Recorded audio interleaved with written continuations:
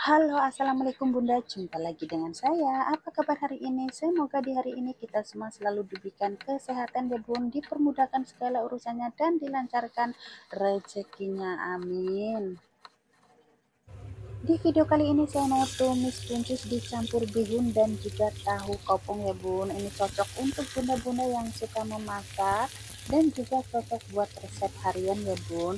Untuk bumbu dan bahannya sangat gampang dan juga simple. Supaya tidak ketinggalan video dari saya jangan di skip ya bun. Tonton videonya sampai selesai. Terima kasih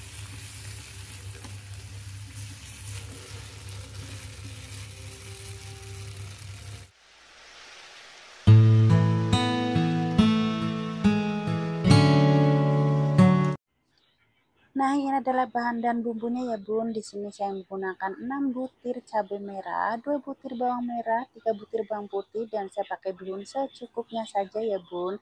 Dan jangan lupa ketinggalan ini ada buncisnya dan juga tahu ya Bun. Ini tahu kopong ya Bun. Kalau Bunda mau pakai tahu yang biasa juga boleh ya Bun sesuai selera Bunda. Nah sekarang saya mau potong tahunya terlebih dahulu ya bun untuk ukurannya sesuai selera bunda ya bun. Nah ini semua bahan saya potong-potong seperti ini ya bun. Dipotong semuanya sampai dengan selesai ya bun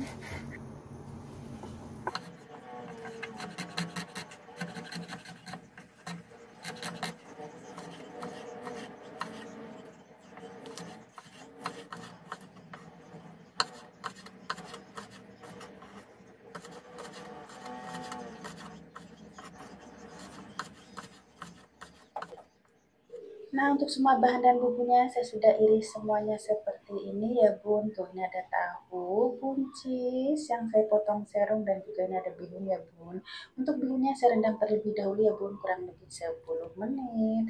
Dan untuk cabenya ya bun sesuai selera. Kalau mau pedas boleh tambahkan lagi cabai rawit ya bun Sekarang mari kita masak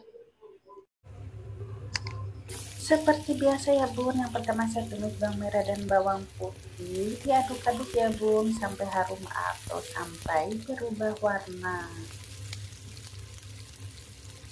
Nah ini bawang merah dan bawang putihnya sudah harum ya bun. Sekarang saya langsung tambahkan irisan cabai yang tadi ya bun. Jangan lupa diaduk-aduk supaya cabainya juga matangnya merata ya bun.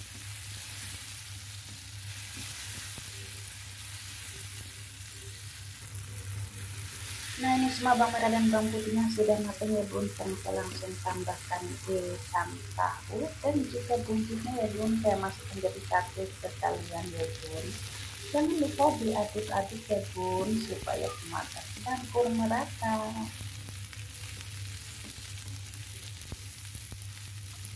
Kalau semua bahan sudah tercampur merata, ya saya tambahkan sedikit air atau secukupnya saja ya bun, sesuai selera bunda. Jangan lupa diaduk-aduk kembali ya bun.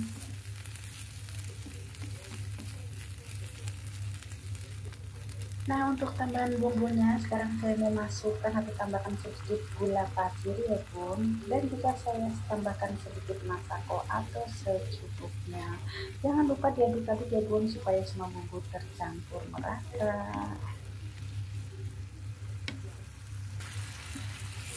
Kalau semua sudah tercampur merata, sekarang saya tambahkan atau campurkan bihun yang tadi saya sudah rendam terlebih dahulu ya bun. Ini saya langsung masukkan, diaduk-aduk kembali ya bun supaya semuanya tercampur merata jadi satu.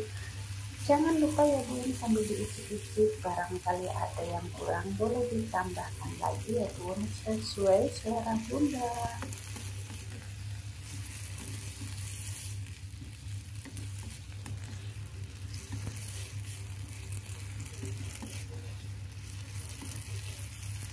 Nah ini tadi saya sudah icip-icip ya bun. Rasanya sudah pas banget cocok dan enak buat ibu-ibu rumahan ya bun. Nah sekarang tumis buncisnya sudah matang ya bun. Tinggal diangkat atau dipindahkan ke dalam wadah.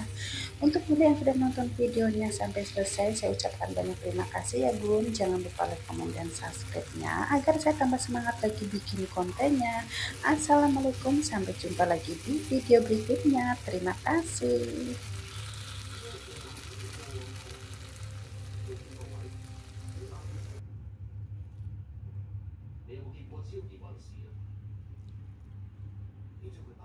啊！